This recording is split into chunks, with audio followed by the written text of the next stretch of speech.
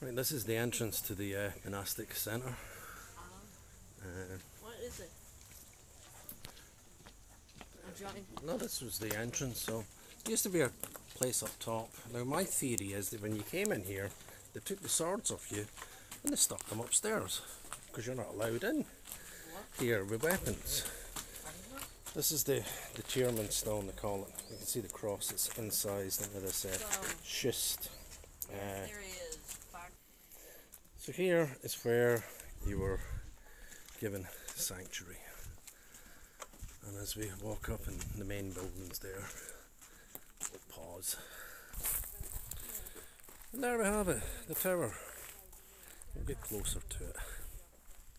Okay, the gravestone. There's the I've forgotten the name yet.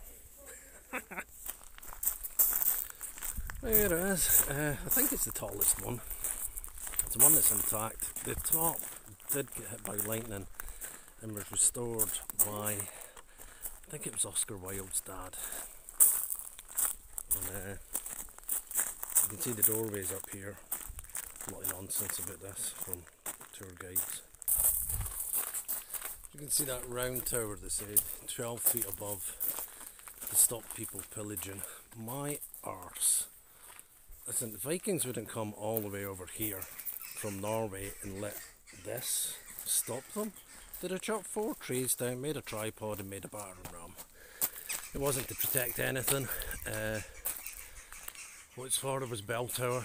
You can hear the crows in it, ravens maybe even. I think it was maybe a raven tower and they collected eggs as well, nesting birds. Makes sense. I could make stuff up and be a tour guide.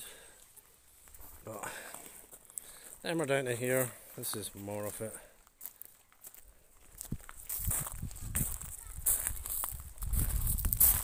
Right, yeah, the tour guides come along.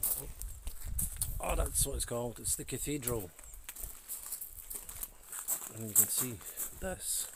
I reckon they painted it and it's a sun symbol, but nobody believes me.